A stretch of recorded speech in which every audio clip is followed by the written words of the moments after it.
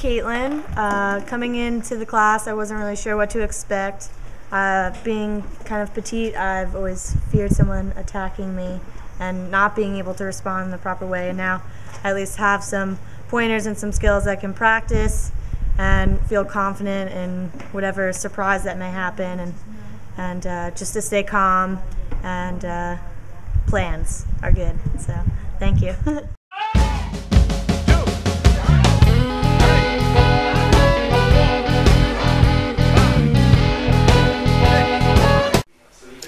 my name is Marla Joy Wood. I've been training with Sensei Rahming for the past four years. I started at the at COB doing the jiu-jitsu course and eventually moved into kickboxing and judo. I've been training in judo for the past about eight months or so and the whole martial arts experience in general has just been really amazing. I've gotten in better shape, I'm more confident, I'm more secure if I'm out alone or something like that. I definitely feel like I can handle myself and it's just an awesome experience.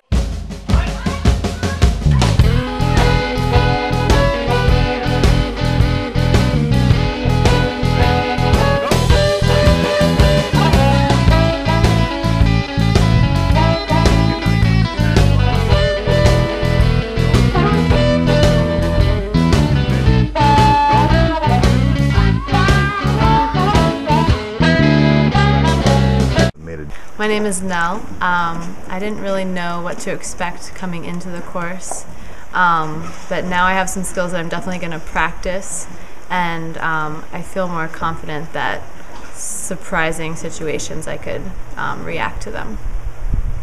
Thank you.